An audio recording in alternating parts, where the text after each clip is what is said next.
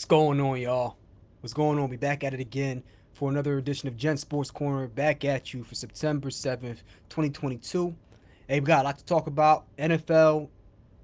Look, the NFL season is upon us. Tomorrow, opening night, Bills versus Rams.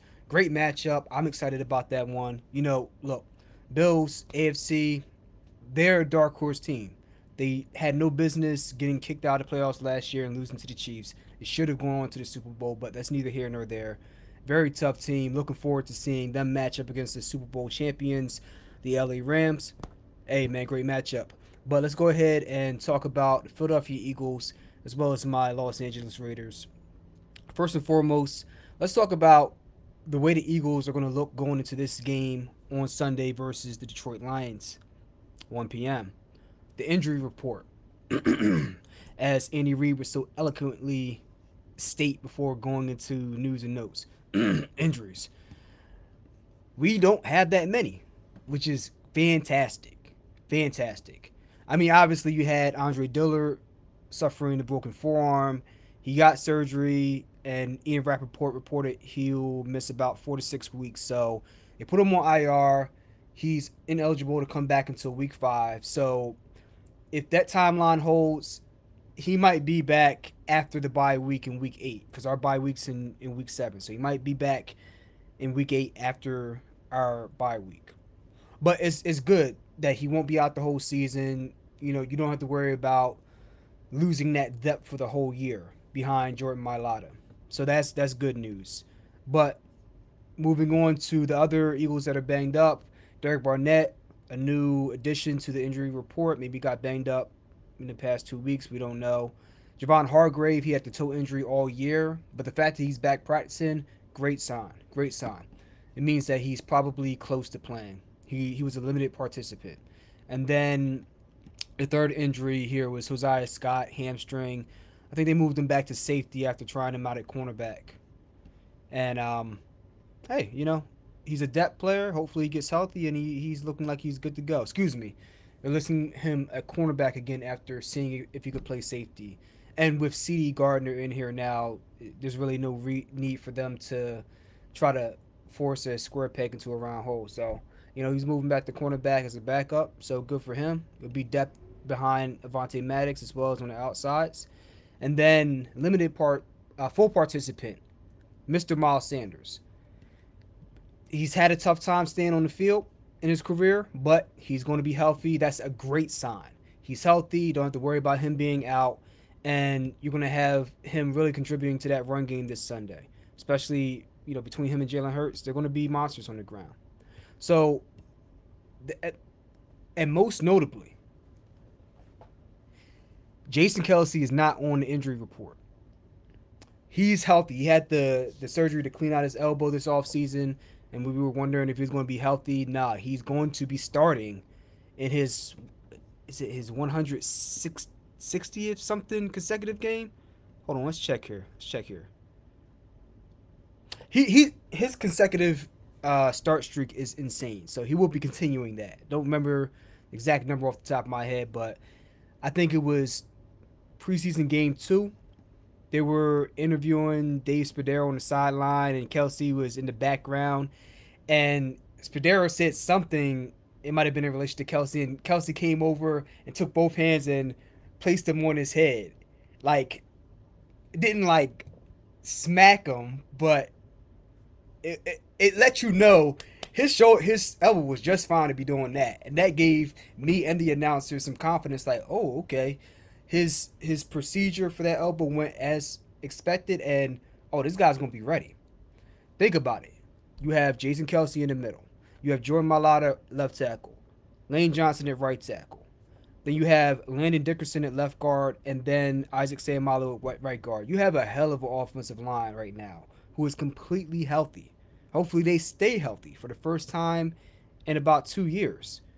And if they do, whew, a healthy Miles Sanders running behind that line, along with Kenneth Gainwell and Boston Scott, and then Jalen Hurts having time to sit back and pass the ball, as well as have time to take take the ball down and run as well. Oh yeah, oh yeah. Uh, you know, uh, later on this week, I'll actually go down and do the breakup of the matchup between the Lions and the Eagles. But I thought this was important to really give people perspective on where this team is at health wise. And then, secondly, with the Eagles, I found this one interesting as well. Howie Roseman, we, we all know that he traded Jalen Reagor to the Vikings last week, and that was the end of an era that barely began. But what was interesting to me was reading an article of Howie Roseman coming on the WIP, which he does from time to time, and he spoke about the draft process, what he learned, and what the Jalen Reagor pick taught taught him. And I thought this was a very good moment of honesty that that he had here, and he, he admitted that one of his weaknesses was dwelling on his mistakes versus successes, and this is something he said. He said, "I think it continually motivates me to get better. So whenever we do something like that, I go back and look at the process and how we came to the decision. And listen, it's obvious. I'm not going to sit here and lie. We'd love to have that moment back. Now, I believe that all these moments, all these lead to where you're going. Like, I feel like when we won a world championship, there were some mistakes we made in that process, but the lead, but that led us to get where we wanted to be. And then going even even further into that, I like that he said this. He said, You go back to that moment. Now, listen closely. You go back to that moment, and we had two tight ends that were really good in the middle of the field Zach Ertz and Dallas Goedert. Greg Ward was coming off a really good year in the slot. And so we were looking for a specific role as opposed to just kind of grading the players. A specific role as opposed to just kind of grading the players. And he said, That's on me 100%. At the end of the day, I'm responsible for all that. I take responsibility, and I also promise you one thing: if I make a mistake, I'm going to do everything in my power to make it up. And I love that he said that. And like that's something that we always speculate, but to hear it come out of his mouth, that's what I needed to know. Me personally, I don't know about y'all, but that's what I needed to know. He said we we were looking to fill a certain role as opposed to picking the best player on the board. And this is not just a mistake that Howie's made. Many a general manager has made a mistake like this across different sports. Hell, um, what was it, the 19 it was Michael Jordan's draft and somebody drafted Sam Bowie over Michael Jordan. And I don't know if that was the Blazers, but I do know that the Blazers, Trailblazers, passed on Michael Jordan because they already had Clyde Drexler and they didn't want to address the same spot. They thought it would be a redundant pick, which in hindsight was very foolish because it doesn't matter if you have Clyde Drexler. You draft Michael Jordan and you figure out a way to make it work. End the story. I don't care whether maybe there might be friction between Clyde Drexler and Michael Jordan, the same way as there was friction between Jerry Stackhouse and Allen Iverson. But guess what? The Sixers still drafted Allen Iverson, even though they already had a guard in Jerry Stackhouse. You know why? Because he's a once in a lifetime talent. So same thing with Jeff, Justin Jefferson, or even if people don't want to get hung up on Justin Jefferson, you had guys like Patrick Queen in that draft. I remember who was sitting there at at that that spot, and they passed over him. And then the year before that, they passed up on CeeDee Lamb. I, I can't. forget. oh no no no! They didn't trade up to get CeeDee Lamb. I, I believe it was what. Okay, yeah, they didn't trade up to get CeeDee Lamb and then they were fortunate enough to have Justin Jefferson sitting there, and then they draft Jalen Reagor. My issue wasn't the fact that they, and this is me, my issue wasn't the fact that they passed up on Justin Jefferson. It's that they passed up for him, on him for Jalen Reagor. There were other guys there that were clearly better players that they could have gotten. So it's just good to know that he saw that, learned from his mistake, and actually admitted it live on on camera. Well, not on camera, but live on air. Admitted that mistake. Very few people are going to admit their mistakes in that fashion. And it seems like he actually internalized it, and the results speak for themselves. You see the DeVonta Smith year uh, pick the next year completely makes up for that mistake next year. Takes the best guy at six instead of trying to get cute. Right? And then a year after that, we go out and not only do we get Jordan Davis, but we go draft a freaking linebacker for the first time in years. a guy that really should have been a first round pick if they there weren't questions about his pectoral injury. He was the Kobe Dean is a top 15, top 20 player in the draft. So he addressed that position. He learned. It seems like he's learning from his mistakes. So I, I, I love to see that. I love to see that. Let me know what you guys think about that because I, I love loved reading that article and what he had to say there. That being said, I want to go ahead and shift over to the Raiders. Raiders traded uh, one of our starting corners. Uh, damn. Uh, his name just slips my mind, but and, and I think part of the reason was because he was injured the past year and he couldn't stay healthy. He's only a fourth year player, very good player, and now now you have a question in the secondary. I mean, you have Jonathan Abrams, who we know what he is. He's the headhunter. He bring that energy in your face. Um, Moehrig at the other safety spot, really good in coverage, getting better, and can lay the wood as well. So the safety spots, I feel good there. But I have questions about the outside and what the Raiders are going to do on the outside. Because you look at this division, sit back, zoom out, look at the wide receivers and quarterbacks in this in this division. You look at the Denver Broncos just brought in Mr. Russell Wilson. You know, just just some guy who's won a Super Bowl and been one of the best quarterbacks in the league over the past six, seven years. And then you have Courtland Sutton, and then you have um, a really good ground game, along with hell. If Melvin Gordon's your backup, you're in a really good spot. So that, uh, and then Noah Fant at tight end. So they have a lot of weapons there.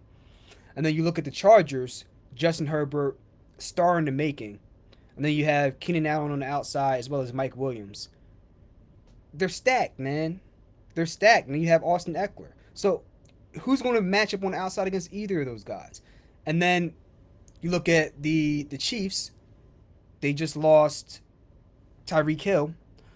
You still have Travis Kelce, and then you have Pat Mahomes, who can make something out of anything. That that is uh, I think we can match up a little better on the outside with a team like the Chiefs, ironically. But the Broncos and the Chargers, they concern me. You got to face them two times a year with guys who aren't proven on the outside, man. So that that move was questionable. I understand that he had the injury issues, but who was your alternative? Why would you make that trade without having what I would deem to be a suitable starter on the outside? Okay. That being said, on the bright side, we're fully healthy, so we don't have any injuries. But you have to also wonder what we're going to do on the offensive line. Alex Leatherwood, our first round pick from two years ago, cut, gone, snatched up by the Bears. Now, I'm not saying he was a great player, but it's one thing to say that you expect guys to step up and be able to perform, but the truth is going to be in the pudding once that opening kickoff happens on Sunday against the Chargers. Chargers, last time I checked, they just got Khalil Mack. You're going to have to have somebody to deal with him, man. Can't just like say, ah, you know, we have a guy we think's going to be good. Khalil Mack, you don't get lucky against guys like those. That that's the type of guy that can single-handedly wreck a game. You gotta be, you gotta have something ready for this dude. All right. So, other than that, they still got we still got better defensively. You know, you got Mad Max on, on one side, and then you have Chandler Jones on the other side. You bring in a straight up stud. So at least you have some type of answer for this. This division might have the best quarterbacks in all of football. You have Pat Mahomes, proven. Russell Wilson, uh, proven. Justin Herbert, phenomenal already in his third year. And then Derek Carr, who's finally has weapons on the outside, Derek Carr is going to have a good year. Mark my words. You got Davante Adams on the, on the outside, as opposed to Zay Jones. No disrespect, but you're not Davante Adams. Davante Adams and Darren Waller and a healthy Josh Jacobs. Come on, bro.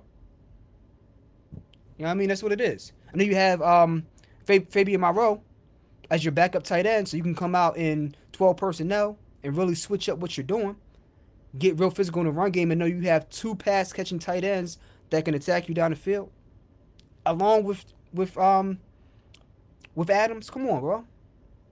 So I mean that division stacked at quarterback. So you know I'll get into the matchups like I said this Sunday, and go through each position, what I think the strengths and weaknesses are of the Eagles and the Raiders against their respective opponents, and what I think the outcome of the game is going to be.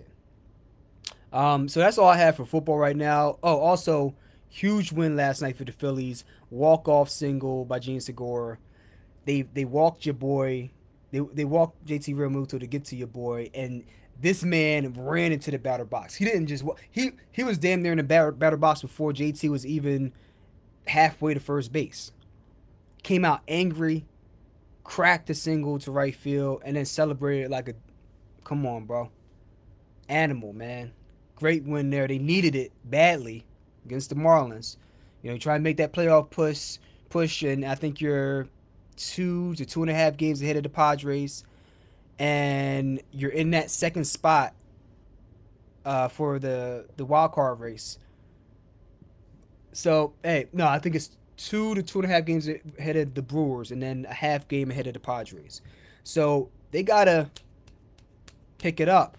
Aaron Nola had the type of outing that we need out of him as an ace every day, not just sometimes, not a few of the times, all the time. Had a very very good game. So hopefully they, they pick it up and, and you know keep this thing rolling going down the stretch. So I mean that's that's that's what it is. Um, I mean that's my thoughts. Let me know what you guys think. I'll be dropping a video, like I said, this Sunday for my pregame at show, and we'll be talking about uh, full breakdown for each team. But that being said, hope you enjoyed the live stream, and I look forward to talking to you guys next time. Go Raiders, go Birds, man. Peace.